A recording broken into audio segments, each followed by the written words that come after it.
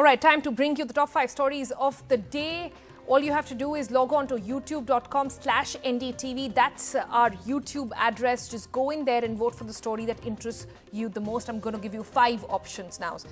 Number one is the Delhi police free Jamia students. What happened last evening? Second one, questions over cop action at the university. That's the Jamia University. Then Jamia Aligarh Muslim University shut till January after violence unfolded. Remember, internet has been cut off in those areas as well.